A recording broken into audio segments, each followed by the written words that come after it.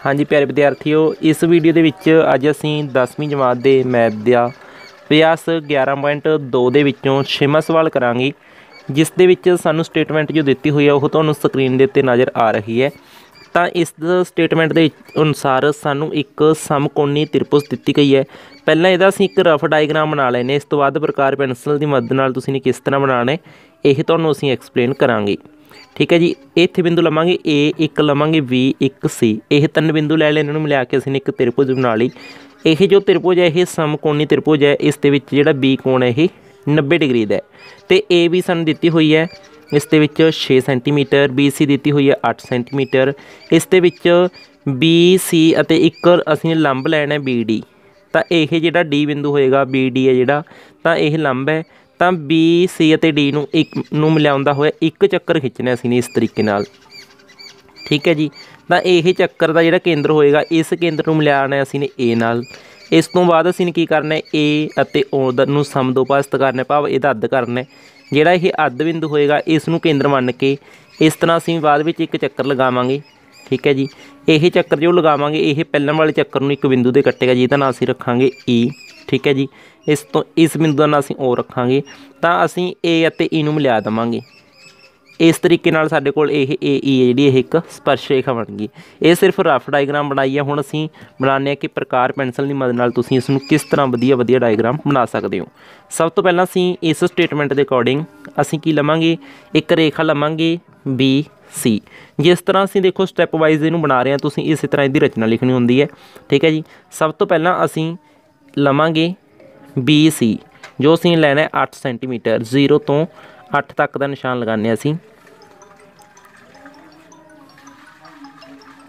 ਤਾਂ ਦੇਖੋ ਜੀ, ਇਹ 0 ਹੈ, ਇਹ 8 ਹੈ। ਤਾਂ ਇਹਨੂੰ ਅਸੀਂ ਮਿਲਾਵਾਂਗੇ, ਜੋ ਸਾਡੀ ਰੇਖਾ BC ਹੋਏਗੀ।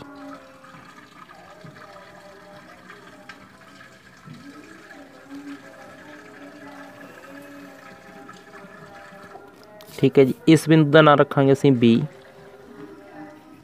ਇਹਦਾ ਨਾਂ ਰੱਖਾਂਗੇ ਅਸੀਂ C ਇਸ ਤੋਂ ਬਾਅਦ ਅਸੀਂ ਨੇ ਕੀ ਕਰਨਾ ਹੈ? B ਦੇ ਉੱਤੇ 90 ਡਿਗਰੀ ਦਾ ਕੋਣ ਬਣਾਉਣਾ ਹੈ।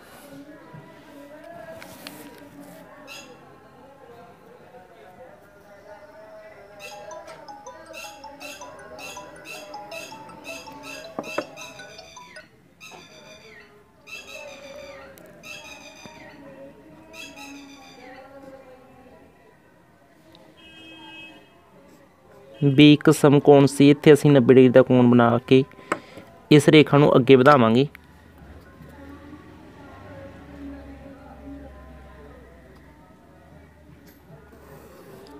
ਇਸ ਰੇਖਾ ਨੂੰ ਅਸੀਂ ਨੇ ਅੱਗੇ ਵਧਾਉਣੇ ਦੇਖੋ, ਸਵਾਲ ਦੇ ਅਕੋਰਡਿੰਗ ਸਮਝਦੇ ਇਹ ਜਿਹੜੀ ਏ ਵੀ ਹੈ, ਸਾਡੀ 6 ਸੈਂਟੀਮੀਟਰ ਹੋਏਗੀ। ਤਾਂ ਇਸ ਨੂੰ ਅਸੀਂ 6 ਸੈਂਟੀਮੀਟਰ ਤੱਕ ਰੱਖਾਂਗੇ।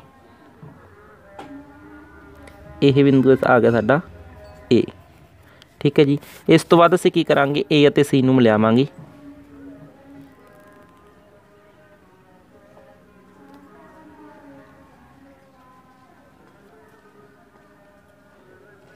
A ਅਤੇ C ਨੂੰ ਮਿਲਾ ਕੇ ਅਸੀਂ ਕੀ ਕਰਨਾ ਹੈ? ਇੱਥੇ ਇੱਕ ਲੰਬ ਖਿੱਚਣਾ ਹੈ। ਤਾਂ ਇਹ ਲੰਬ ਖਿੱਚਣ ਦਾ ਇੱਕ ਤਰੀਕਾ ਤਾਂ ਇਹ ਵੀ ਹੋ ਸਕਦਾ ਹੈ ਕਿ ਅਸੀਂ AC ਦੇ ਸਮਾਨਾਂਤਰ ਇੱਕ ਰੇਖਾ ਲੈ ਲਈਏ ਇਸ ਤਰ੍ਹਾਂ। ਠੀਕ ਹੈ ਜੀ ਇੱਥੇ ਤੋਂ। ਇਸ ਤਰ੍ਹਾਂ ਇੱਕ ਰਫ ਜੀ ਲਾਈਨ ਲੈ ਕੇ ਉਸ ਤੋਂ ਬਾਅਦ ਇੱਥੇ ਅਸੀਂ 90 ਡਿਗਰੀ ਦਾ ਕੋਣ ਬਣਾ ਦਈਏ ਬੀ ਦੇ ਉੱਤੇ, ਇਸ ਤਰ੍ਹਾਂ। ਠੀਕ ਹੈ ਜੀ, ਇਹ ਵੀ ਤਰੀਕਾ ਹੋ ਸਕਦਾ ਪਰੰਤੂ ਉਸ ਤੋਂ ਵੀ ਇੱਕ ਤੁਹਾਨੂੰ ਸੌਖਾ ਤਰੀਕਾ ਦੱਸਦੇ ਹਾਂ। ਤੁਸੀਂ ਪ੍ਰਕਾਰ ਲੈਣੀ ਹੈ, ਠੀਕ ਹੈ ਜੀ। ਪ੍ਰਕਾਰ ਲੈ ਕੇ ਜਿਸ ਰੇਖਾ ਦੇ ਉੱਤੇ ਆਪਾਂ ਨੇ ਲੰਬ ਖਿੱਚਣਾ ਉਸ ਰੇਖਾ ਤੱਕ ਐਵੇਂ ਸਿੰਪਲ ਆਈਡੀ ਨਾਲ ਪ੍ਰਕਾਰ ਖੋਲ ਕੇ, ਠੀਕ ਹੈ ਜੀ ਸਿੰਪਲ ਕਿੰਨੀ ਮਰਜ਼ੀ ਖੋਲ ਲਓ, ਜੇ, ਜਿਹੜੀ ਇਸ ਲਾਈਨ ਨੂੰ ਕੱਟ ਕਰੇ, ਤਾਂ ਇੱਕ ਕੱਟ ਇੱਥੇ ਲਗਾ ਦੇਣਾ, ਇੱਕ ਇੱਥੇ। ਤਾਂ ਇਹ ਚਾਪਾਂ ਜਿੱਥੇ ਕੱਟ ਕਰ ਗਈਆਂ, ਉੱਥੇ ਤੋਂ ਪ੍ਰਕਾਰ ਰੱਖ ਕੇ ਓਨੀ ਖੁੱਲੀ ਖਲਾਈ ਹੀ ਪ੍ਰਕਾਰ, ਤਾਂ ਇਸ ਤਰ੍ਹਾਂ ਚਾਪ ਲਗਾਓ। ਇੱਕ ਚਾਪ ਇਸ ਤਰ੍ਹਾਂ ਲਗਾਓ, ਠੀਕ ਹੈ ਜੀ? ਤਾਂ ਉਸ ਤੋਂ ਬਾਅਦ ਅਸੀਂ ਨੇ ਜਿਹੜਾ ਇਹ ਕੱਟ ਸਾਡੇ ਕੋਲ ਮਿਲਿਆ ਸਾਨੂੰ, ਤਾਂ ਇਸ ਨੂੰ ਅਸੀਂ ਨੇ ਅੱਗੇ ਮਿਲਾਣਾ ਹੈਗਾ B ਦੇ ਨਾਲ, ਠੀਕ ਹੈ ਜੀ? ਅਸੀਂ ਕੀ ਕਰਾਂਗੇ? B ਅਤੇ ਇਸ ਕੱਟ ਨੂੰ ਆਪਸ ਵਿੱਚ ਮੈਚ ਕਰਾਂਗੇ। ਤਾਂ ਇਸ ਤਰ੍ਹਾਂ ਮੈਚ ਕੀਤਾ, ਤਾਂ ਇਹ AC ਨੂੰ ਜਿੱਥੇ ਇਸ ਨੇ ਕੱਟ ਕੀਤਾ ਇਸ ਬਿੰਦੂ ਦਾ ਨਾਂ ਅਸੀਂ ਰੱਖਾਂਗੇ ਡੀ ਇਸ ਤਰ੍ਹਾਂ ਸਾਡੇ ਕੋਲ ਕੀ ਹੋ ਗਿਆ? BD ਲੰਬ ਹੋ ਗਿਆ ਕਾਦੇ ਉੱਤੇ? AC ਦੇ ਉੱਤੇ। ਜੋ ਕਿ ਸਵਾਲ ਦੇ ਵਿੱਚ ਸਾਨੂੰ ਸਟੇਟਮੈਂਟ ਦੇ ਵਿੱਚ ਕਿਹਾ ਗਿਆ ਸੀ ਖਿੱਚਣ ਦੇ ਲਈ। ਭਾਵ ਇੱਥੇ ਹੁਣ 90 ਡਿਗਰੀ ਦਾ ਕੋਣ ਬਣ ਰਿਹਾ ਹੈ। ਠੀਕ ਹੈ ਜੀ? ਹੁਣ ਅਸੀਂ ਕੀ ਕਰਾਂਗੇ ਕਿ ਇੱਕ ਚੱਕਰ ਖਿੱਚਣਾ ਹੈਗਾ ਜਿਹੜਾ B, C ਅਤੇ D ਦੇ ਵਿੱਚ ਦੀ ਲੰਘਦਾ ਹੋਵੇ ਇਸ ਤਰ੍ਹਾਂ। ਤਾਂ ਇਹ ਚੱਕਰ ਖਿੱਚਣ ਦੇ ਲਈ ਸਾਨੂੰ ਕੇਂਦਰ ਦੀ ਲੋੜ ਹੈ। ਤਾਂ ਇਹ ਕੇਂਦਰ ਅਸੀਂ ਦੋ ਤਰੀਕਿਆਂ ਨਾਲ ਲੈ ਸਕਦੇ ਹਾਂ। ਇੱਕ ਤਾਂ ਇਹ ਕਿ ਅਸੀਂ DC ਦਾ ਅੱਧ ਕਰਕੇ ਇਸ ਤਰ੍ਹਾਂ ਲਾਈਨ ਲਗਾ ਦਈਏ। ਇੱਕ BD ਦਾ ਲ- ਅੱਧ ਕਰਕੇ ਇਸ ਤਰ੍ਹਾਂ ਲਾਈਨ ਲਗਾ ਦਈਏ। ਇਹ ਲਾਈਨਾਂ ਜਿੱਥੇ ਉਸ ਵਿੱਚ ਕੱਟ ਕਰਨੀ ਆ ਉਹ ਬਿੰਦੂ ਨੂੰ ਅਸੀਂ ਕੇਂਦਰ ਮੰਨ ਕੇ ਇੱਕ ਚੱਕਰ ਖਿੱਚ ਦਾਂਗੇ। ਜਾਂ ਉਸ ਤੋਂ ਵੀ ਇੱਕ ਸੌਖਾ ਤਰੀਕਾ ਇਹ ਹੈ ਕਿ ਅਸੀਂ ਕੀ ਕਰੀਏ? BC ਨੂੰ, ਸਿਰਫ BC ਨੂੰ ਸਮਦੋਪਾਸਤ ਕਰੀਏ। ਠੀਕ ਹੈ ਜੀ? BC ਨੂੰ ਸਮਦੋਪਾਸਤ ਕਰੀਏ ਅਸੀਂ। ਸਮਦੋਪਾਸਤ ਕਰਨ ਦੇ ਲਈ ਕੀ ਕਰਨਾ ਹੁੰਦਾ ਕਿ ਅੱਧ ਤੋਂ ਵੱਧ ਦੀ ਪ੍ਰਕਾਰ ਖੋਲ ਕੇ ਇਸ ਤਰ੍ਹਾਂ ਚਾਪਾਂ ਲਗਾਉਣੀਆਂ ਹੁੰਦੀਆਂ ਨੇ। ਠੀਕ ਹੈ ਜੀ? ਤਾਂ ਇਹ ਚਾਪਾਂ ਨੂੰ ਅਸੀਂ ਨੇ ਹੁਣ ਮਿਲਿਆ ਦੇਣਾ ਹੈਗਾ। ਇਹ ਜਿੱਥੇ ਚਾਪਾਂ ਮਿਲੀਆਂ ਨੇ, ਉਸ ਤੋਂ ਅਸੀਂ ਇੱਕ ਰੇਖਾ ਖਿੱਚਣੀ ਹੈ। ਇਹ ਰੇਖਾ ਅਸੀਂ ਇਸ ਤਰ੍ਹਾਂ ਲਵਾਂਗੇ। ਤਾਂ ਇਹ ਜਿਹੜਾ ਬਿੰਦੂ ਆ ਗਿਆ ਸਾਡਾ, ਇਹਦਾ ਨਾਂ ਅਸੀਂ O ਰੱਖਾਂਗੇ। ਹੁਣ O ਸਾਡੇ ਕੋਲ ਕੇਂਦਰ ਆ ਗਿਆ। ਠੀਕ ਹੈ ਜੀ? ਤਾਂ O ਨੂੰ ਅਸੀਂ ਕੇਂਦਰ ਮੰਨ ਕੇ B, O ਅਰਧ ਵਿਆਸ ਲੈ ਕੇ, ਠੀਕ ਹੈ ਜੀ? ਇਹ ਅਰਧ ਵਿਆਸ ਲੈ ਲਾਂਗੇ, ਜੋ ਡੀ ਵਿੱਚ ਦੀ ਵੀ ਲੰਘੇਗਾ ਚੱਕਰ ਬੀ ਵਿੱਚ ਦੀ ਵੀ ਲੰਘੇਗਾ ਅਤੇ ਸੀ ਵਿੱਚ ਦੀ ਵੀ ਲੰਘੇਗਾ। ਠੀਕ ਹੈ ਜੀ, ਇਸ ਤਰ੍ਹਾਂ ਹੁਣ ਅਸ- ਇੱਥੇ ਅਸੀਂ ਇੱਕ ਚੱਕਰ ਖਿੱਚਾਂਗੇ।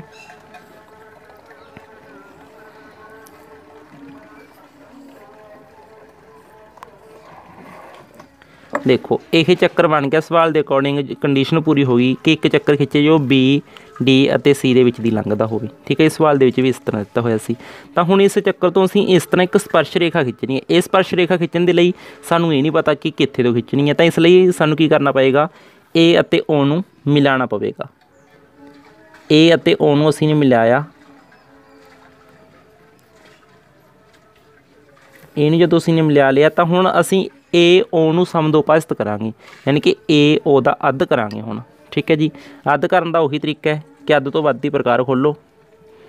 ਅੱਧ ਤੋਂ ਵੱਧ ਦੀ ਪ੍ਰਕਾਰ ਖੋਲ ਕੇ ਚਾਪਣ ਲਗਾਵਾਂਗੇ ਇਸ ਤਰ੍ਹਾਂ ਅਸੀਂ। ਸਵਾਲ ਥੋੜਾ ਜਿਹਾ ਕੰਪਲਿਕੇਟਡ ਹੈ, ਜੇਕਰ ਨਾ ਸਮਝਿਆ, ਲੱਗਿਆ, ਤਾਂ ਦੁਬਾਰਾ ਕਮੈਂਟ ਕਰਕੇ ਦੱਸ ਦਿਓ। ਠੀਕ ਹੈ ਜੀ? ਇਹ ਚਾਪਾਂ ਜਿੱਥੇ ਵੀ ਕੱਟ ਕਰ ਗਈਆਂ, ਉਹਨਾਂ ਪੁਆਇੰਟਸ ਨੂੰ ਅਸੀਂ ਹੁਣ ਮ- ਲਿਆਵਾਂਗੇ।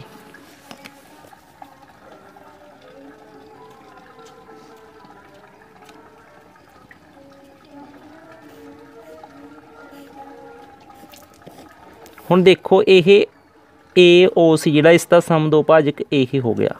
ਇਸ ਬਿੰਦੂ ਦਾ ਨਾਮ ਰੱਖਾਂਗੇ ਅਸੀਂ, ਮੰਨ ਲਓ M, ਠੀਕ ਹੈ ਜੀ? ਹੁਣ ਅਸੀਂ ਕੀ ਕਰਾਂਗੇ? M ਨੂੰ ਕੇਂਦਰ ਮੰਨਾਂਗੇ। M ਨੂੰ ਕੇਂਦਰ ਮੰਨ ਕੇ ਏ ਜਿੰਨੀ ਪ੍ਰਕਾਰ ਖੋਲ ਲਾਂਗੇ। ਠੀਕ ਹੈ ਜੀ? ਇਹ ਇਹਦੇ ਬਰਾਬਰ ਵੀ ਹੈ। ਠੀਕ ਹੈ ਜੀ? ਇਹ ਧਿਆਨ ਨਾਲ ਖੋਲਾਂਗੇ ਥੋੜੀ ਜਿਹੀ ਪ੍ਰਕਾਰ। ਕਿਉਂਕਿ ਇਹ ਇਸ ਦਾ ਸਮਦੋਭਾਜਕ ਹੈ ਨਾ। ਤਾਂ ਦੋਨੇ ਪਾਸਿਆਂ ਤੋਂ ਇਹ ਬਰਾਬਰ ਹੀ ਹੋਏਗਾ। ਠੀਕ ਹੈ ਜੀ। ਹੁਣ ਇੱਥੇ ਤੋਂ ਅਸੀਂ ਇਸ ਤਰ੍ਹਾਂ ਇੱਕ ਚੱਕਰ ਖਿੱਚਾਂਗੇ।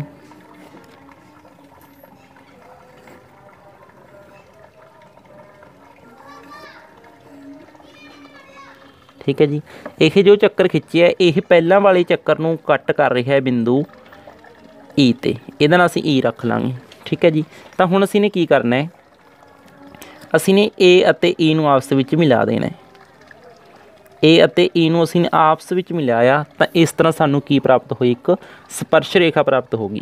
ਤਾਂ ਇਸ ਸਵਾਲ ਦੇ ਵਿੱਚ ਅਸੀਂ ਨੇ ਕੀ ਕਰਨਾ ਸੀ ਕਿ A ਤੋਂ ਇਸ ਚੱਕਰ ਤੇ ਇੱਕ ਸਪਰਸ਼ ਰੇਖਾ ਦੀ ਰਚਨਾ ਕਰਨੀ ਸੀ, ਜਿਹੜਾ ਚੱਕਰ B, C ਤੇ D ਨੂੰ ਕੱਟ ਕਰ ਰਿਹਾ ਸੀ, ਵਿੱਚ ਦੀ ਲੰਘ ਰਿਹਾ ਸੀ, ਉਸ ਦੇ ਉੱਤੇ ਅਸੀਂ ਨੇ ਇੱਕ ਸਪਰਸ਼ ਰੇਖਾ ਖਿੱਚਣੀ ਸੀ। ਉਹ ਸਪਰਸ਼ ਰੇਖਾ ਅਸੀਂ ਨੇ ਖਿੱਚ ਦਿੱਤੀ ਹੈ AE ਤਾਂ ਇੱਥੇ ਕੀ ਹੈ ਸਾਡੀ? AE ਲੋੜੀਂਦੀ ਸਪਰਸ਼ ਰੇਖਾ ਹੈ। ਠੀਕ ਹੈ ਜੀ? ਏ AB ਲੋੜੀਂਦੀ ਸਪਰਸ਼ ਰੇਖਾ ਹੈ। ਠੀਕ ਹੈ ਜੀ। ਇਸ ਦੀ ਜਿਹੜੀ ਰਚਨਾ ਉਹ ਤੁਸੀਂ ਖੁਦ ਲਿਖ ਲਿਓ। ਤੁਹਾਨੂੰ ਸ- ਜਿਵੇਂ ਸਟੈਪ ਵਾਈਜ਼ ਦੱਸਿਆ, ਉਸ ਤਰ੍ਹਾਂ ਹੀ ਇਹਨੂੰ ਲਿਖਣਾ ਹੈਗਾ। ਸੋ ਇਸ ਤਰੀਕੇ ਨਾਲ ਸਾਡਾ ਇਹ ਸਵਾਲ ਸੀ ਜਿਹੜਾ ਕੰਪਲੀਟ ਹੋ ਚੁੱਕਾ ਹੈ। ਸਾਰਿਆਂ ਦਾ ਬਹੁਤ ਬਹੁਤ ਧੰਨਵਾਦ।